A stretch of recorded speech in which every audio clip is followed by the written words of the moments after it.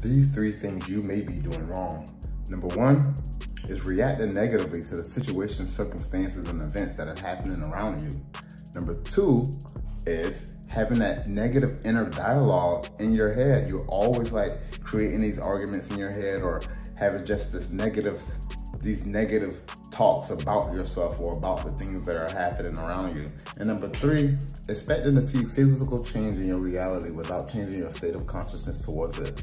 Do you know that man's chief delusion is that there are causes outside of his own consciousness? Damn shame.